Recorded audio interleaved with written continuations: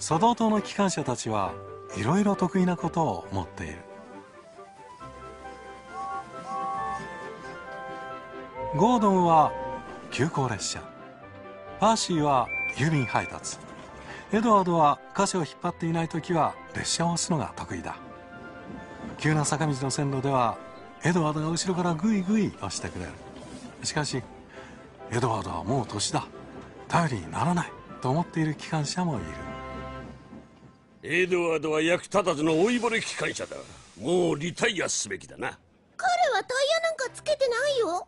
リタイアだよ。つまり仕事を辞めるってこと。なるべく早い方がいいな。他の大きな機関車たちも賛成だ。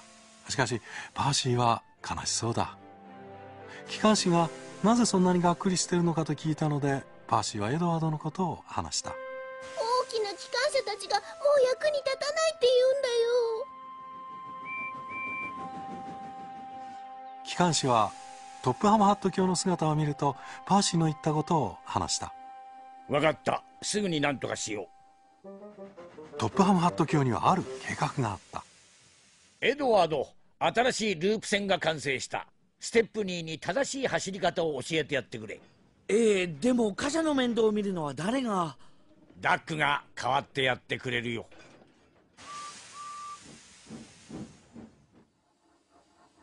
ダックが手伝うと聞いて他の機関車たちは喜んだ。ダックだったら頼りになるよ。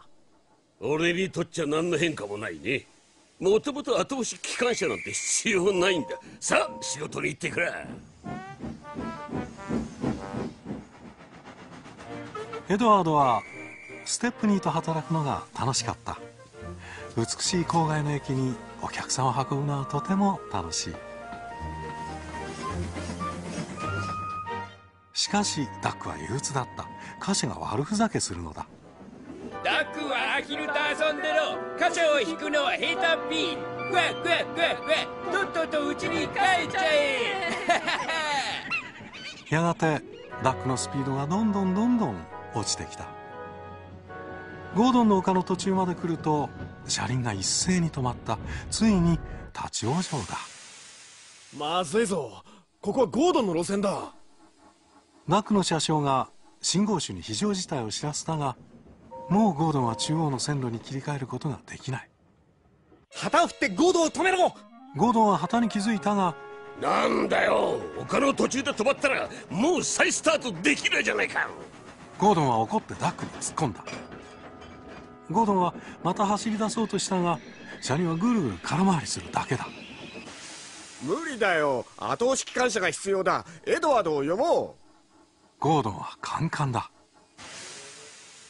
エドワードは張り切っていた。2つの列車を押す後押し機関車になるのだから。エドワードは嬉しそうに後ろにつくと奇妙な隊列を力強く押し出した。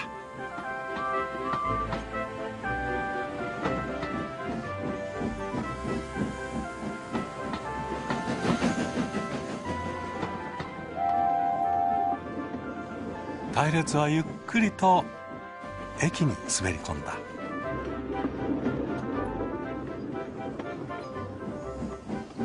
え見てよ。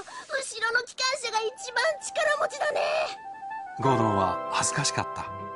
トップハムハット卿がゴードンに厳しく言った。お前はエドワードに無礼なことを言ったが今日エドワードは頼りがいのある役に立つ機関車であることを証明したゴードンは穴があったら入りたかった。翌朝ゴードンはエドワードにお礼を言った。エドワード昨日は助かったよ。君は本当に役に立つ機関車だな。ここに戻れてよかったよ。エドワードは嬉しそうだ。トップハムハット卿の計画は大成功。もうエドワードのリタイアの話は出てこない